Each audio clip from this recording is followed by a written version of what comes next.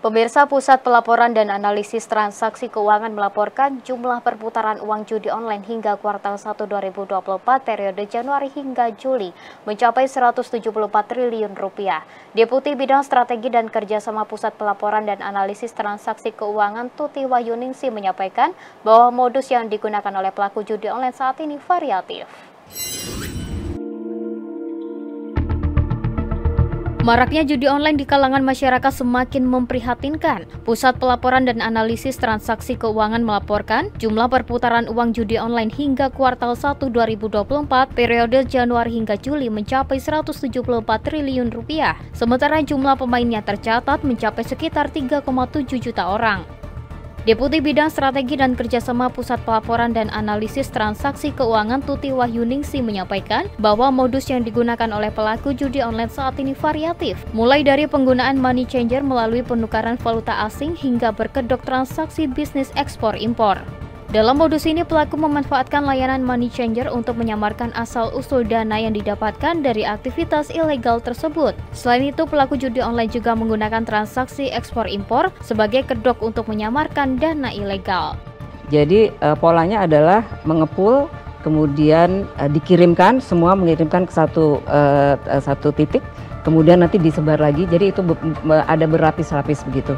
Jadi itu yang uh, yang kita uh, uh, baca dari uh, pergerakan uang judi online. Kemudian juga uh, dalam berita terkait dengan keterangan transaksi uh, underlying transactionnya itu uh, biasanya muncul kata-kata yang sangat familiar di judi, misalnya seperti slot, jackpot, kemudian uh, kapok judi, kalah mulu atau apa. Jadi uh, apa uh, uh, sign sign note uh, uh -huh. seperti itu tuh itu berarti hubungannya ke sana begitu.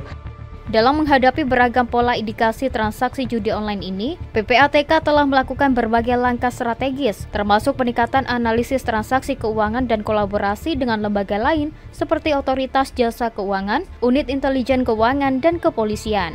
Tuti menegaskan kerjasama lintas sektor ini sangat penting untuk memberantas perjudian online yang semakin kompleks dan diharapkan dapat berdampak positif bagi stabilitas ekonomi serta keamanan masyarakat. Engagement yang terkait dengan internasional yang sudah kita eh, lakukan, uh, misalnya untuk uh, mentelusuri uh, tracing terkait dengan aliran dana dan kita uh, sebagai anggota Egmont Group kita juga ada uh, Egmont uh, Egmont Secure Web uh, ISW yang uh, memang kita uh, bisa mendapat uh, kesempatan untuk meminta informasi dari uh, FIU di negara lain dan FIU negara lain kalaupun memang misalnya mendapatkan informasi terkait dengan Indonesia melalui website itu juga uh, uh, bisa mengkomunikasikan kepada kita.